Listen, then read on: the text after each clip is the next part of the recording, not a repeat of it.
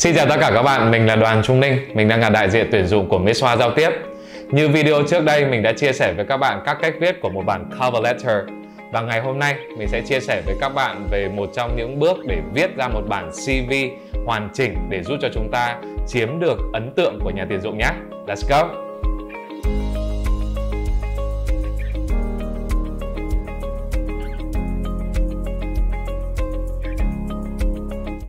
Đối với những bạn mà lần đầu tiên các bạn viết CV, nếu các bạn chưa biết lấy mẫu CV ở đâu hoặc là chưa biết viết CV như thế nào thì ở đây mình có gợi ý cho các bạn. Đó là mọi người hãy vào trang web Top CV gạch chéo mẫu CV. Bước số 2 là chúng ta sẽ điền thông tin ở một bảng gợi ý công việc. Bởi vì khi mà các bạn điền thông tin xong ấy thì Top CV sẽ gửi vào email của các bạn một số những gợi ý việc làm phù hợp với nhu cầu mà các bạn đang tìm kiếm. Và đến bước số 3, mọi người hãy chọn một mẫu CV phù hợp với quan điểm của các bạn. Ở đây mình có một mẫu gợi ý cho các bạn về một bản CV nhưng mọi người có thể thấy là trong bản CV này chúng ta có khá là nhiều phần. Nhưng tuy nhiên, mọi người hãy sàng lọc ra những phần nào để tốt nhất thể hiện nên bản thân của các bạn. Trong một mẫu CV thì chúng ta có những phần không thể thiếu sau. Đó là personal information, educational background, working experience, activities and work and objectives. Mỗi CV thì đều có một bố cục khác nhau. Tuy nhiên ở đây mình gợi ý các bạn nên sử dụng mẫu CV tương tự như thế này bởi vì trong mục Objectives, đó là mục mục tiêu nghề nghiệp, thì chúng ta có nêu lên Experience và Skill, kinh nghiệm và kỹ năng thì ngay phía dưới thì chúng ta có phần bổ trợ là phần Skill, sẽ tăng thêm tính chân thực cho bản CV của các bạn. Trong video này, mình sẽ chia sẻ với các bạn các lưu ý trong 3 phần đầu tiên trong bản CV. Đầu tiên, đó là phần Contact Information. Đây là phần thông tin liên lạc của chúng ta. Đối với ảnh đại diện thì có những tiêu chí sau mọi người nên chọn nhé. Thứ nhất đó là vui vẻ.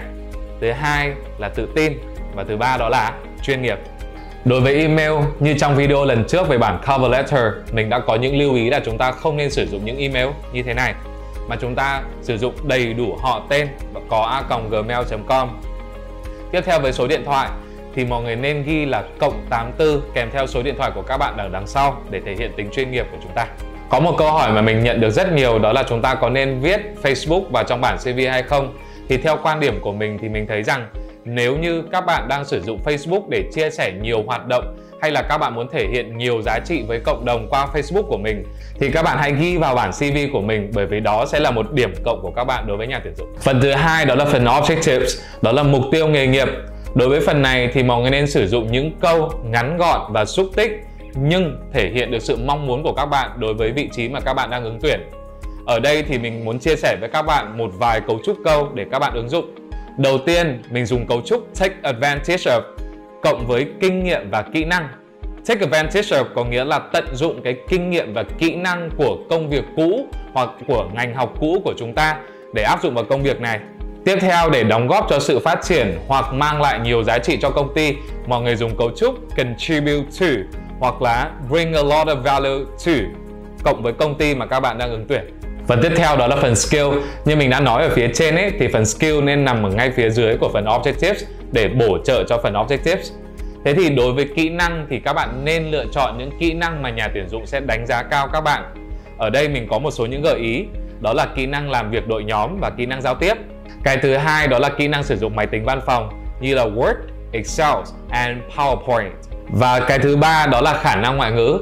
Nếu các bạn có khả năng ngoại ngữ thì đó sẽ là một điểm mạnh rất lớn dành cho tất cả các bạn. Và nói đến đây, nếu mà các bạn còn cảm thấy đang thiếu sót một số những kỹ năng mình nêu trên ấy thì mọi người hãy cố gắng đi tìm kiếm những cơ hội và chúng ta hãy chủ động hơn trong quá trình tìm kiếm thông tin để các bạn trau dồi những cái kỹ năng này và mình tin các bạn sẽ trở thành ứng viên sáng giá cho vị trí mà các bạn mong muốn. Trên đây đó là những chia sẻ tổng quan của mình về một bản CV và mình hẹn gặp lại các bạn ở video sau để chia sẻ thêm với các bạn về những kỹ năng của working experience, educational background và activity and awards. Xin chào và hẹn gặp lại các bạn.